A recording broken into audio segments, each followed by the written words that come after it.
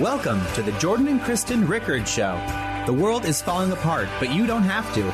Join Jordan and Kristen as they discuss the challenges that face us in our decaying world every day.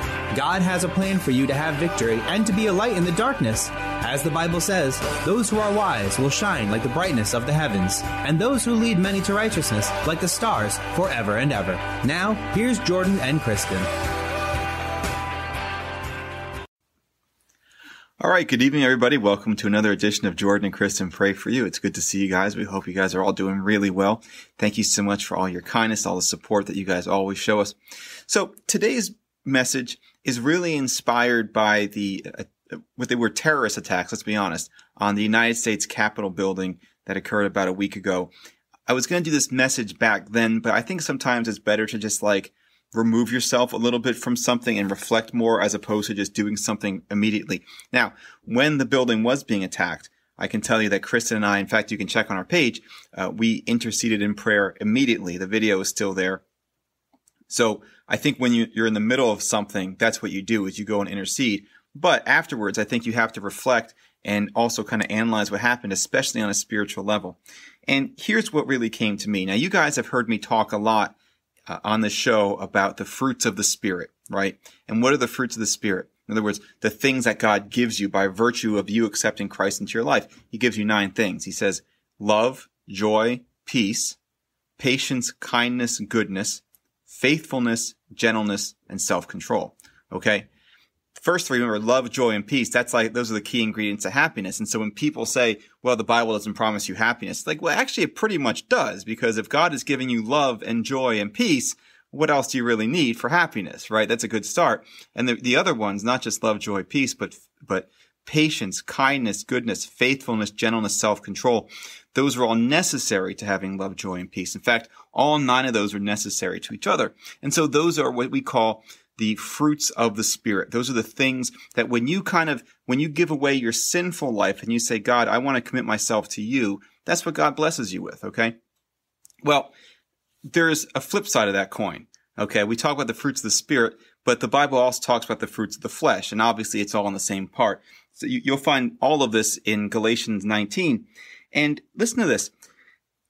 The fruits of the, of the flesh are, des- are described as this. The acts of the flesh are obvious Sexual immorality, impurity, debauchery, idolatry, and witchcraft. Okay, well, that's pretty obvious. But then check this out. And this is really what I, I want to focus on as far as, you know, the, the Capitol attacks and stuff and, and really the whole, the whole political and cultural climate. Okay. Idolatry, witchcraft. But then listen, hatred, discord, jealousy, fits of rage, selfish ambition, dissension and factions and envy.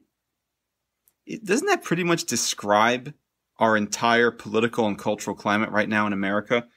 Hatred, discord, jealousy, fits of rage, selfish ambition, dissensions, and factions. I mean, look, you can say, well, look, only 70 people actually stormed into the Capitol building. Okay, 70 people went in.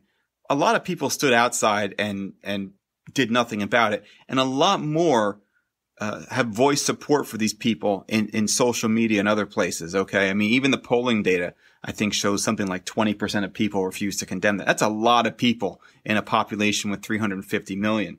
Okay. And we've seen over the summer, and I don't like to draw equivalencies because I think when someone does something wrong, it's enough to say those people are responsible. I don't care what other people did. I care about what you did. Okay. And so that's wrong.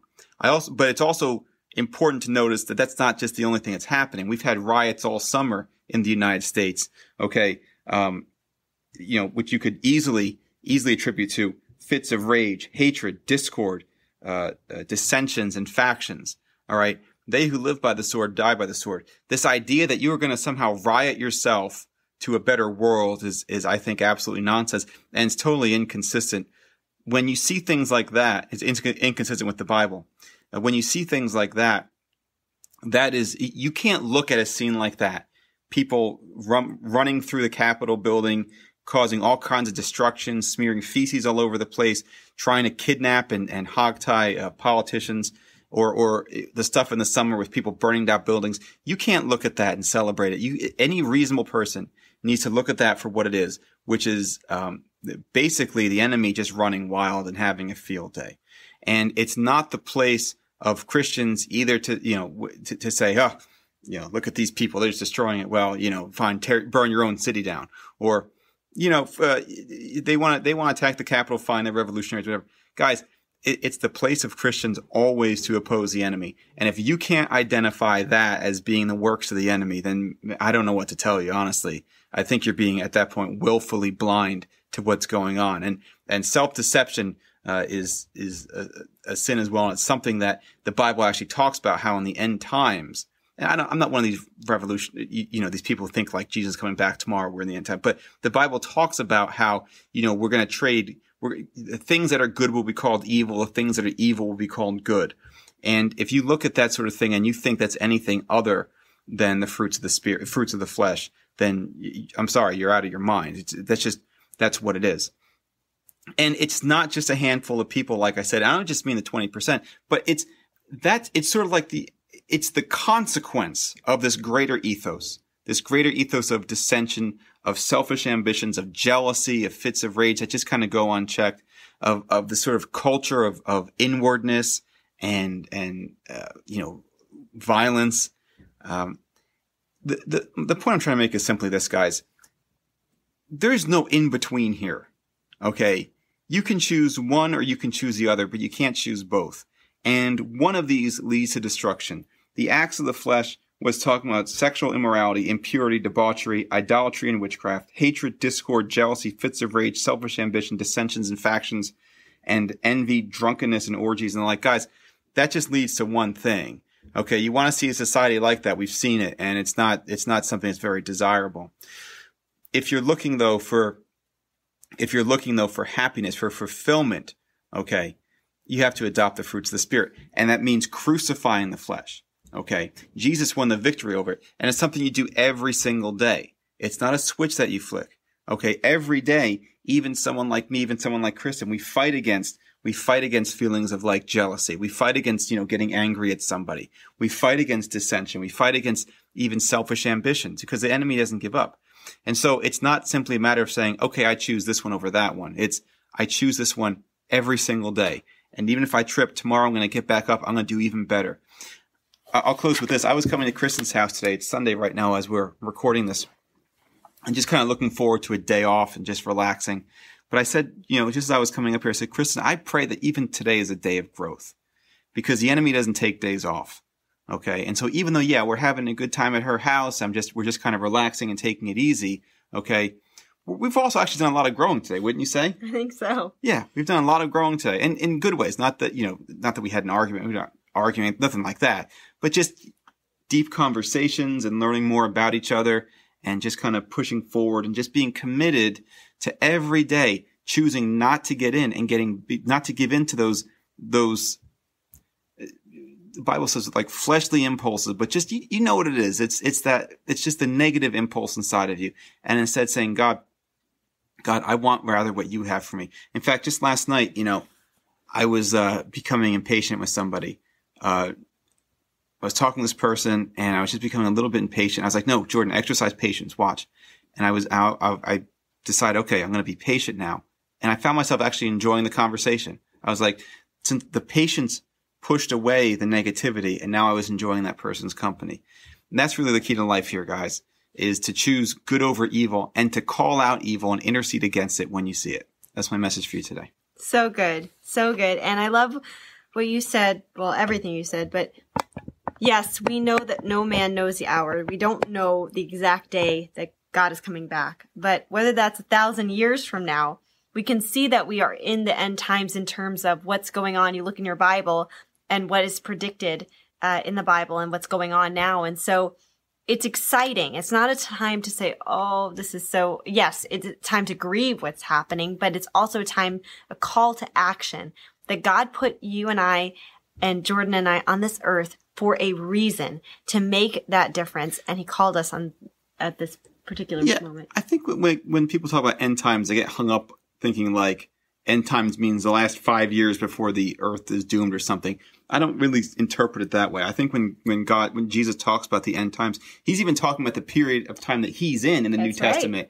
That 2000 years ago, you know, uh, if, if you read that, he's, he's talking about what would sound to us like apocalyptic things back then. And so I don't really think of it as necessarily, uh, a period of time the way we think of it, but rather so much as a, a stage really in sort of, you know, human progression or regression, I yeah, suppose. and the Bible says, you know, the day a day is like a thousand years, and so right. it's just all relative. But it's the point is when we look at all this stuff, the tendency is to say, "Oh my gosh, you know, the world is doomed," but instead to have that intercessory to go in prayer, like, and to realize that God has called you for a specific time such as this, and um, I love what you said about all those things. You know, you just kind of feel it with you feel it in the Holy Spirit, it, and that's a good meter. You know, test and see the spirits, and that's a pretty obvious one when when it's the flesh versus the spirit.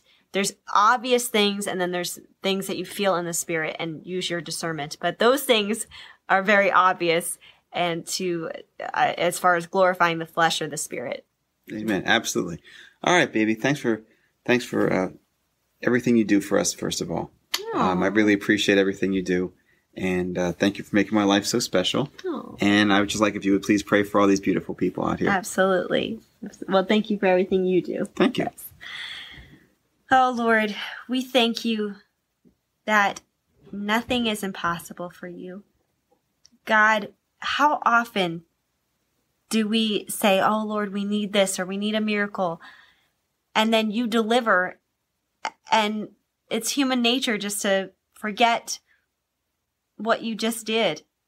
God, help us always, we, Lord, we remember our remembrance stones of what you have done and what you will do. And it's so easy to look at the world, to look at certain things going on and say, oh, this just looks like hopeless in um, from a human perspective. But God, you called us for such a time as this, just like you called Esther, just like you called Deborah, just like you called Joseph, just like you called so many in the Bible. And just like Peter, you say, on this rock I will build my church. I believe that there are so many out there today uh, that every person listening is meant to be a pillar, a pillar, God, that without them, a huge, huge hole is missing and, and the foundation of your word is meant to stand upon. So God, help every uh, one of us to realize how significant we are, how valued we are, how loved we are by you. Give us clarity, give us your spirit, give us your Holy Spirit, and let us use every single day and make it count. Make it count in our lives, in our marriages, in our home, and with those who have kids and those who are in students and all different walks of life. Let us be the influence you want us to be and to make it count. In Jesus' name, amen. Amen. Good job. All right. Who we have to pray for tonight? Okay. So we've got some prayer requests, which we love. Uh, Rike says, touch my family, Lord. Celso says, pr- is asking for prayer. Sayez is asking for, uh, has a stomach problem. Isabella is asking for her daughter. Tamara says, Lord, touch my family. Melanie, family protection. Alona, family. Jeff prays for our nation. Solomon prays for his church ministry, social networking in the in the villages, and financial help. Donna's son is working in D.C. in Washington D.C. as a Christian, having to make uh, difficult decisions. And Sivan just asked for prayers. So God, we lift up every single one of these people to you, God. For those who just asked for prayer, like Celso and Sivan and Sivan, Lord, we know that you know what they're they're facing, God, and you they don't face it alone. You go before them and fight the battle for them.